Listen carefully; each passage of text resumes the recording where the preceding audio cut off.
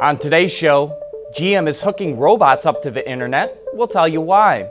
Despite all the negative publicity with diesels, more Americans are buying them. And rockabye baby. Here's a new solution to lull your baby to sleep. All that more coming right up on Autoline Daily.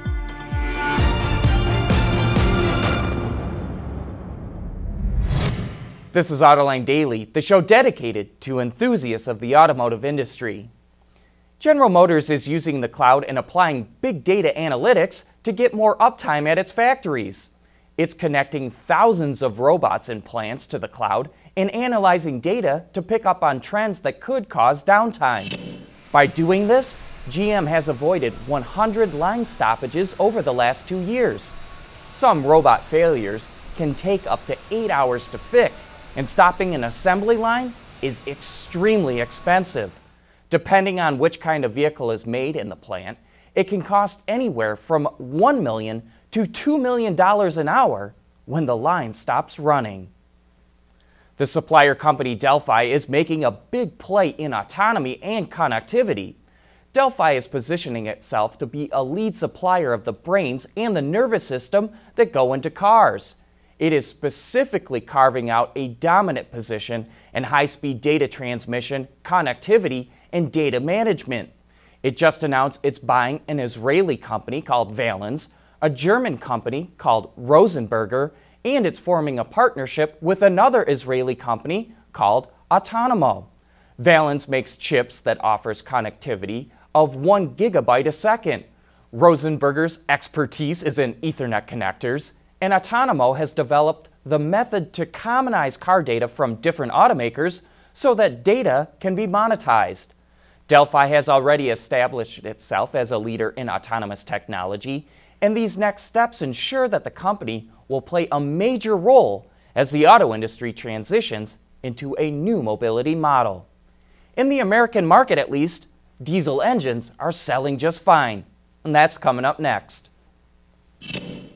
Autoline Daily is brought to you by Bridgestone Tires, your journey, our passion. Dow Automotive Systems, advanced materials that deliver better results. Lear, a global leader in automotive seating and electrical systems. And by Borg Warner, propulsion solutions that support a clean, energy efficient world. Despite all the negative news about diesel engines, what with the VW cheating scandal, and European cities wanting to ban them, American pickup buyers still want to have them.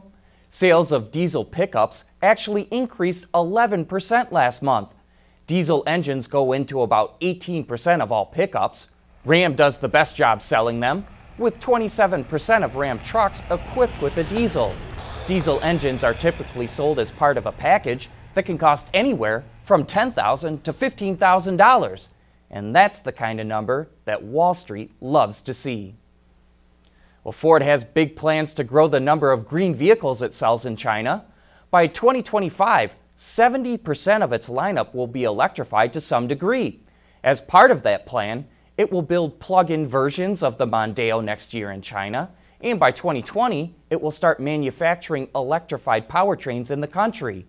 In five years, Ford will introduce a dedicated BEV that will be from the U.S., meaning it's going to be hit with the 25% import tariff. Ken Washington, the VP of Research and Advanced Engineering at Ford, says it will have a no excuses 300 mile range. Despite China's interest in mandating electric cars, automakers are asking the government to back off because not enough customers are buying them. And hey, don't forget to join us this afternoon for Autoline After Hours when we go live with Michael Bryan the head of product planning for Hyundai Motor America. If you got questions on where Hyundai sees the market going, shoot an email to viewermail at autoline.tv. Then join John and Gary for some of the best insights into the automotive industry. Coming up next, we're going to show you a radically different idea on how to make batteries for cars. For the people at Dow, racing is a sport and a science. We enjoy one and learn from the other. But like most competitive people, we like winning at both. This is the human element at work. Dow. There's more car news and industry insight from the Autoline Network every day. Take a moment to click that subscribe button. You'll never miss another Autoline episode.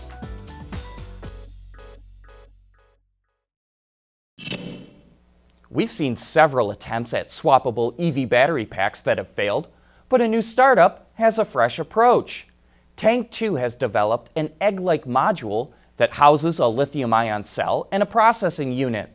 The eggs are stored in a tank, and the processing unit maps out the best path to link the cells together into what's called a string battery.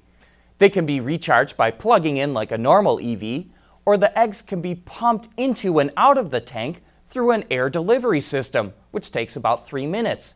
You could even just fill up a quarter of a tank if you only need enough juice to get to work. Tanktwo is currently in the testing stages, so we'll have to wait and see if this new idea is any better than previous battery swapping solutions. Every parent knows one of the best ways to get a crying baby to sleep is to take it for a car ride. And now Ford is working to bring that experience inside your home.